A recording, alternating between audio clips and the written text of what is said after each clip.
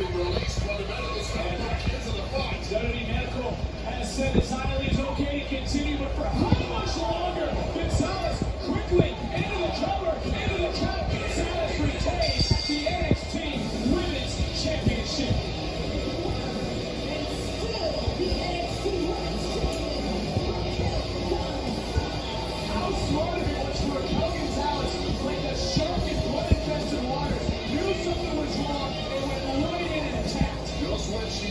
turn it up to a new level. That is what this champion can do.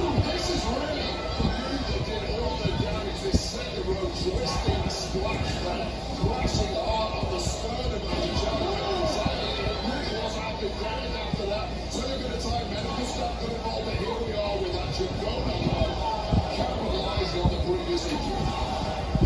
From Kevin Gonzalez.